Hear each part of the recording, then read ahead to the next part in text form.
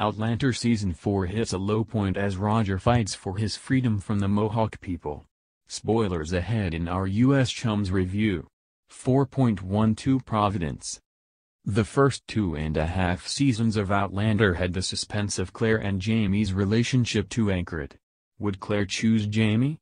Would they both survive the war? Would they be reunited? Following the print shop scene in Season 3, the show has expanded its focus to other characters, storylines, and romances. This has given it the opportunities to become more textured, giving us some of the best episodes of the series thus far, but it has also led to some narrative meanderings that are harder to become invested in. The Roger is kidnapped by Mohawk storyline is one of those meanderings for me. Coming into this episode, Roger has been pulled across the eastern seaboard of colonial America as a prisoner of the Mohawk tribe. The party has finally reached their destination in New York, but life has not improved for Roger.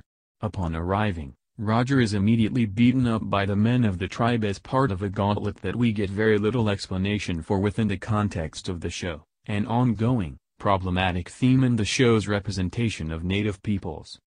When we catch up with Roger at the beginning of this episode, he is shoved into a hut with another white European prisoner, Father Alexander. Father Alexander is a Jesuit priest who, during his time working to convert the Mohawks to Christianity, fell in love with a Mohawk woman named Johan and had a child with her. Apparently, he did his preaching a bit too well? Because, when he refused to baptize the child, as Johan is not Christian, it's like, dude, just do a fake baptism or something. The tribe turned against him. Roger is psyched to meet another white dude who has been screwed over by love. He launches into his story about how he was the nicest, most romantic man, stalking Bree across centuries to demonstrate his love, even though she never asked him to, only to get yelled at by Bree, beaten up by her father, and sold to the Mohawks. To love is to be an idiot, Roger concludes to Father Alexander, looking for what he has wanted all along, validation that his life choices are the correct ones, that he deserves the girl, and that he is the noble, suffering hero protagonist of this story. Father Alexander is mostly not playing along. Though, unfortunately, he doesn't call Roger out on being the epitome of the dude who thinks that just because he made a granted gesture, he deserves unconditional love and sex from the object of his affections. Father Alexander doesn't believe love is stupid. He will literally walk up to the pyre in order to prove a point. Frankly, I think they are both idiots who have bought into the masculine ideal of the selfish, ego-driven act as the noble one without thinking about how their actions affect anyone else. Father Alexander would rather burn at the stake than find a compromise that might allow him to stick around to support the woman he claims to love and his child. If he believes so wholeheartedly in his faith, then wouldn't he rather fake a baptism and stick around to make sure his son doesn't grow up a heathen than make a point that leads to his immediate death and, though he couldn't know this, the death of his child's mother? Meanwhile, Roger continues to learn all of the wrong lessons from his suffering, which, I admit, is intense. He blames his circumstances on the foolishness of love, rather than taking any responsibility for his actions. He was the one who slut-shamed Bree for wanting to have sex before marriage, and shut down their relationship when she gently refused to marry him when they had only just begun to get to know each other romantically. Furthermore, it was Roger who chose to follow Bree into the past. It was Roger who left Bree when she got upset that he had kept the information about her parents' deaths from her. That wasn't the foolishness of love, that was Roger reacting badly and refusing to listen and validate Bree's feelings when he himself felt rejected or attacked. That's not love's fault. Ultimately, Roger doesn't choose to escape the Mohawk village when he can, instead returning to end Father Alexander's suffering by throwing fuel on the fire that is burning him alive. This is a noble decision, though not one motivated by love so much as a recognition of shared humanity and the bravery to do the humane thing to save this man he barely knew from suffering. Watching Johan throw herself into the fire to die with the man she apparently loved was obviously an affecting moment. I would have liked if we were given more context for that decision.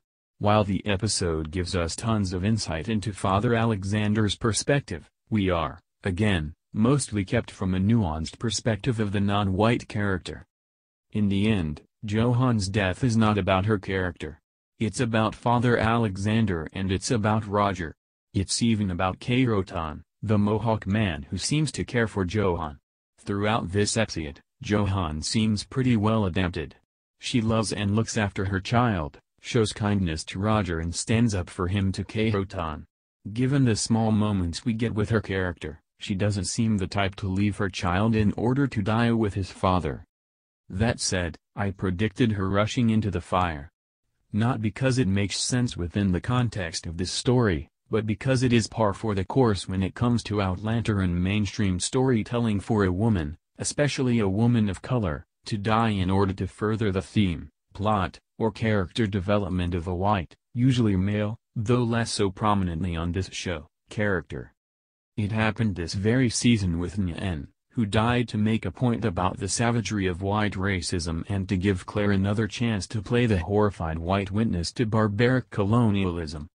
And it happens again with Johan, who dies presumably to teach Roger a lesson about the nobility and value of romantic love.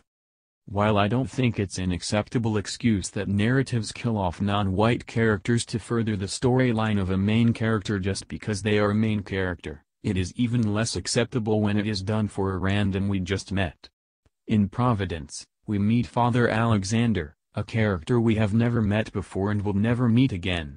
We, through point of view character Roger, spend a lot of time with him. Narrative space that could have been used to better contextualize the Mohawk sections, culture, and characters. Instead, the episode decides to give Roger another white dude to talk to and empathize with. I get it, it's hard to break the patterns and formulas that have ruled mainstream storytelling for a very long time, but there's an easy solution, bring in more diverse voices to tell the story.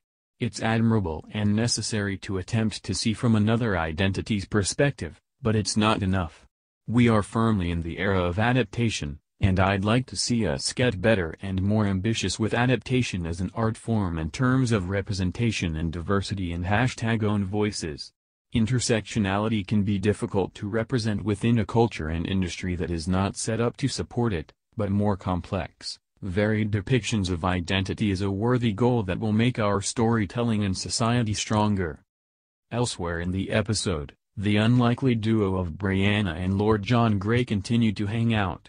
This time, they hang out all the way to Wilmington where Stephen Bonnet is being kept following his capture, orchestrated by Murtagh, Fergus, and company. Most shows are at their best when character drives plot rather than the other way around, and Outlander is no exception. This is why the Brianna storyline falls so flat for me here, as the plot seems to dictate that she decide to confront Bonnet. I don't buy that Bree would want to confront her rapist and I especially don't buy that she would, or should, try to forgive him, especially so soon after the rape. To be fair, the episode tries to convince me. Bree finally reads the letter Jamie sent her via Lord John, it espouses the foolishness of revenge and the power of forgiveness. Now, I agree with these statements, but they would have a hell of a lot more power if Jamie lived by them. I also don't think Bree needs to forgive Bonnet, or even should, given that he has shown no level of remorse. More than anything, I think Bree needs to forgive herself because she did nothing wrong, a theme touched upon in the previous episode when Jamie tried to convince her that there was nothing she could have done to fight back harder, that her rape was not her fault. To follow that brief exploration up with an episode that puts forth the idea that Bree should work to forgive a remorseless Bonnet is infuriating. Bree, as a character, deserves better. Bree's choice to visit Bonnet means that not only does he find out about his maybe child, but that Bree and Lord John Grey are in the prison when Fergus and co. break Murtagh out. It makes for some hurried, fun reunions, but all feels so contrived as a way to ensure that Bonnet is not actually killed, which he presumably isn't due to the group's careless deposit of the keys right in front of his open cell. This is the second time hashtag Team Fraser has accidentally broken Stephen Bonnet out of jail. Once can be ruled an accident, twice, and it's starting to look bad.